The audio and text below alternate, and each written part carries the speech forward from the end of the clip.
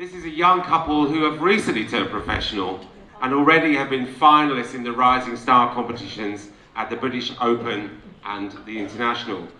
Please welcome with a title, Let's Face the Music and Dance, David Cockram and Rosie Ward.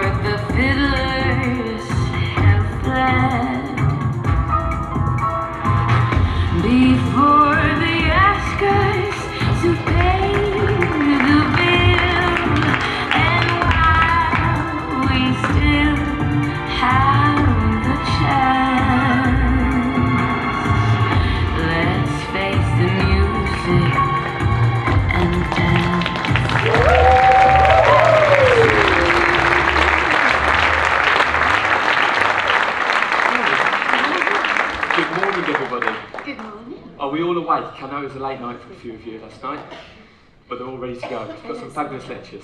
They don't sound awake to me. Are we all awake? They're waking up. Oh, okay, I see. And before we start our lecture, we would just like to say thank you to the BDF for having us. This is a huge honour for us, and we feel so no, privileged. we feel so privileged and really humbled and appreciative to be here with you all this morning. And we really hope that we can give you a little bit of inspiration this weekend. Now, I just want to start off um, I was giving a little mention to somebody who I saw in the ballroom yesterday, who I believe is the most important for all of us dancers. And um, everything he does, we have to listen to. And we have to respond to every single thing he does. Everything he says goes. It goes. He's the most important person here this weekend. And that person is Mr. Bill Hayton.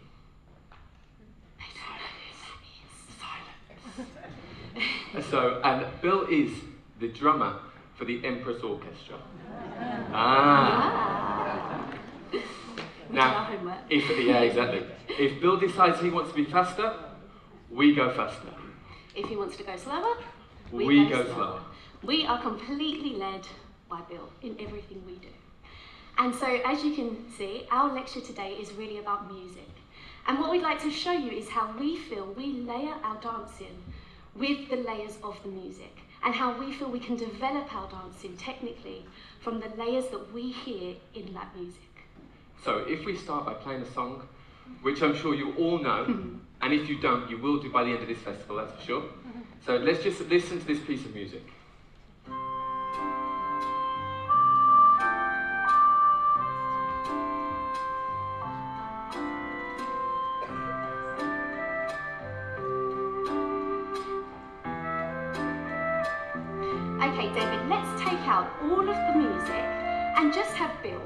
Because he's so important, let's just hear Bill. There he is. It's quite good. Very clear.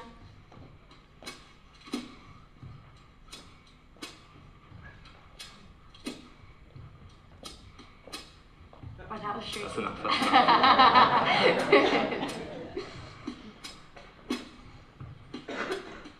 so for us, when we hear this beat, for us, this is our timing, our tempo. This tells us when to go, when to stop. So it's our feet to the beat. And when we're teaching beginners, this is the first thing we want them to hear in the music.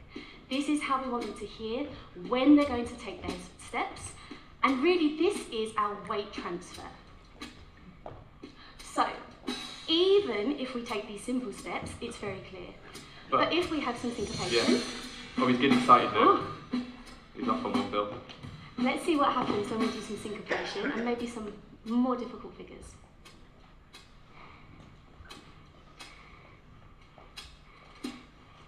So now if we had a tipple chasse. And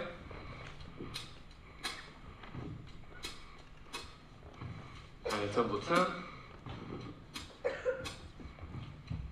Nothing changes. The feet go to the beat. So no matter if you're a beginner or going all the way up to the top, we really have to hear that drum.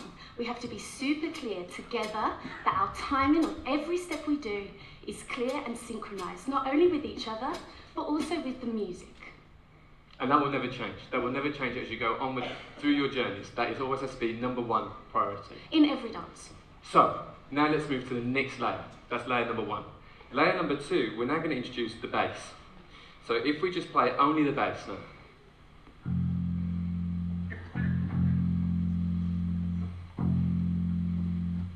It's the same song, but you wouldn't know. It's deep, it's long, it's heavy. And I personally feel like I want to use my legs to respond to this. So I feel like now I can use this to create a swing.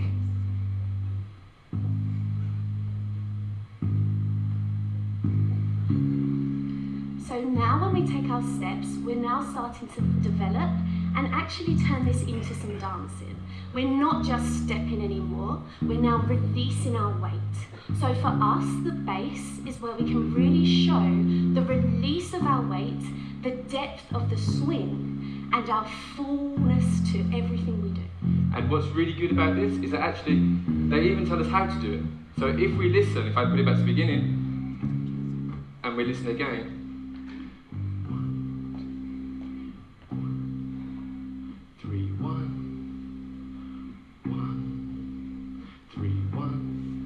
So they've made it very clear that when we swing and when we release our weight, we release our weight from the three to the one.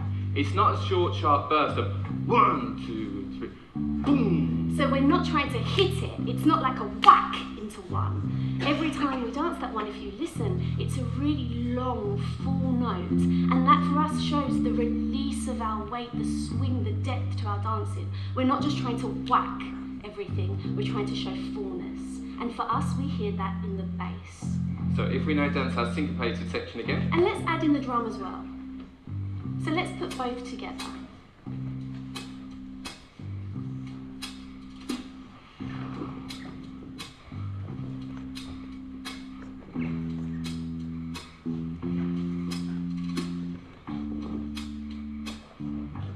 Hopefully, you can now see we're not just stepping, we're now starting to add some fullness. Hopefully, a little bit of weight and depth to what we do. So now it's not just a step pattern, it's got depth to it. And this for us is our next layer. So we had that beat underneath, the drum, which is super important. Then we started to add in the depth and the release, which we need for ballroom dancers. And then the third layer is the bit that we all love. The bit that we all know, and that is the melody. So if we play now only the melody, same song again. This is the bit you sing in the car on the way home. This is what tells us what song it is. It gives it its own identity. And this is where we feel, where do you feel this, Rosie? I feel this in my body. In my body.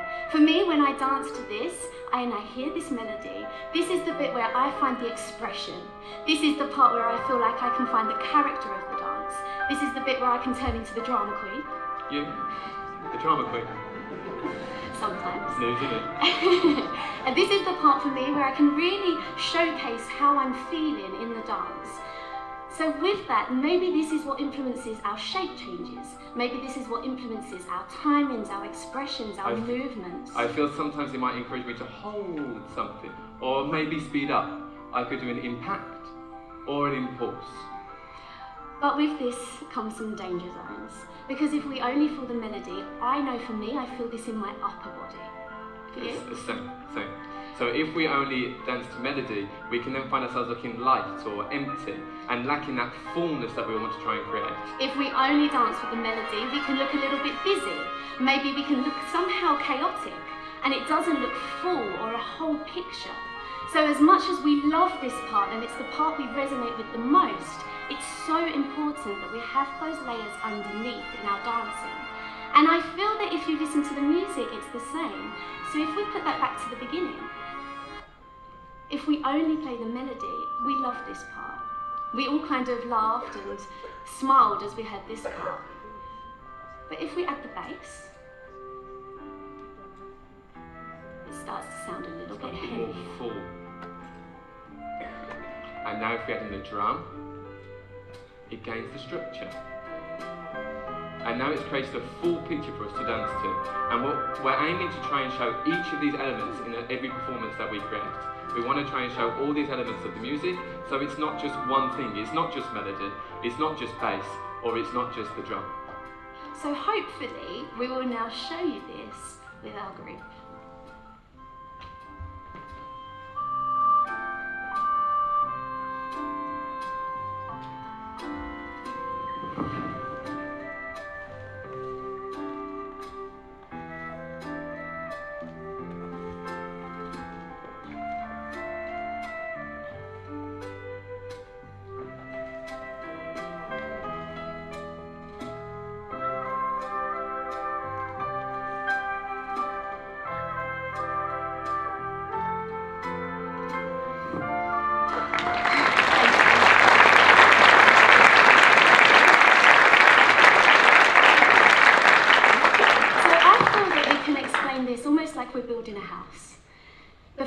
Foundation of everything we do is that drum. Everything we do with our weight transfer, that is our foundation, it is key. From there we can put the walls in, we can add the next layer, we can add the depth, the release, the swing, we can make ourselves look full. And then the fun part, we can get the decorating, and that's the bit we all love. If there's some lyrics to the music, maybe we've added an ensuite bathroom. Okay, we can just really go to town with our decoration. But we cannot do it without that foundation, without our walls. So for us, it's very important that we show all of those layers in our dancing, in response to the music. And also, we feel that music is our chance to kind of put our own personality onto our performances. This is a way for us to kind of show how we feel and what we hear in the music, and then hopefully convey that to an audience so they feel some sort of emotion. And that is what we're always aiming to do on every performance. But by using these elements, we're able to create a rounded performance, so we're not just showing one individual structure. This is what also gives us our individuality. So it's very important to note that we may all hear this differently. This is why we personally love dancing to live music. We love dancing to a band. If we dance to the band, not only can you hear these elements, but you can feel them. So when we're dancing on the Empress Ballroom, you can feel when that bass comes in, and it's encouraging you to use those legs, swing from three to one across the floor. You can hear all the melody nice and high, encouraging you to activate the upper body and move into space. And this is, for us, is the really special feeling that live music can give us. Now, it's one thing hearing it on your own, but it's a whole other thing trying to synchronize it with another person. And at the beginning of our lecture today, we danced a little bit of a fusion of foxtrot and tango, and there is a reason for that. When we uh, originally found this piece of music, we listened to it, and instantly I said to Rosie, "Oh, we could we could use this. We could do a foxtrot." And I said, no way, this is a tango. And then we had a bit of an argument, and then we decided to compromise and do both.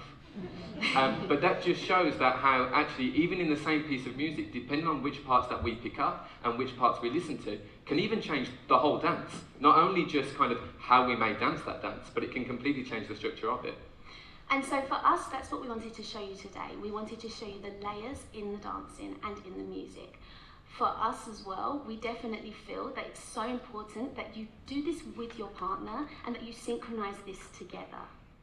So this kind of brings me into how we started dancing together. When we started dancing together five and a half years ago now, oof, a long time. When we started to dancing together back then, I knew very early on that David was so instinctive with how he danced the quick step. And when David was dancing the quick step, he just had this natural feel to it, and it just seemed to go. Um, and it took me a while actually to work out what he was doing. And there was, yeah, I had no idea. No idea. A while. Has she found it? Well, we'll see in a minute. and so I know for me personally, I definitely found that I had to really analyse what David was doing. And we had this one particular practice where David showed me one piece of our quick step choreography and he danced it seven different ways. And he swore blind that they were all the same. It was quite a long practice. There were many arguments that day. And so for me, I well, I then got the video camera out and I videoed it. So they're all different. Have a look. And so we really realised that actually David was being led by the music. And so each time he was dancing, he was hearing a different part in the music, a different piece. He was reacting differently every time, instinctively. And so that's hard for me to get my head around. How can I hear how he hears? And so that's why we had to, together, break down okay, how are we going to look into what are you responding to? So that at a competition or at a, a demonstration, if he starts reacting differently, I understand what it is he's hearing and how he can create an individual performance for us so that not every time is the same. So we had to take some time to get in sync with the rhythms that we would show together and that we both felt.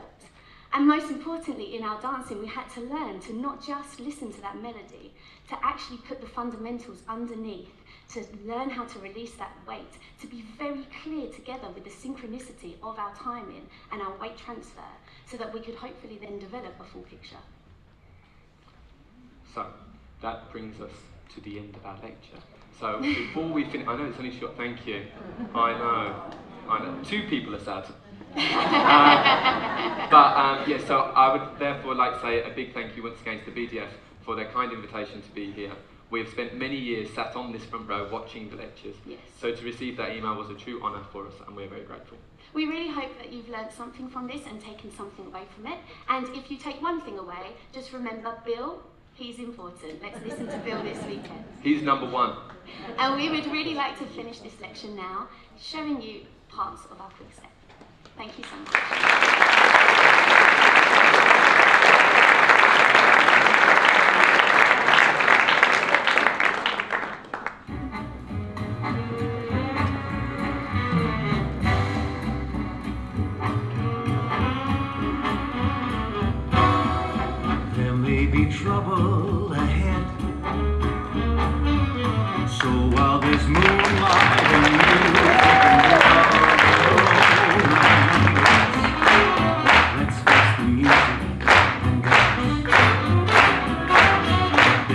Canada.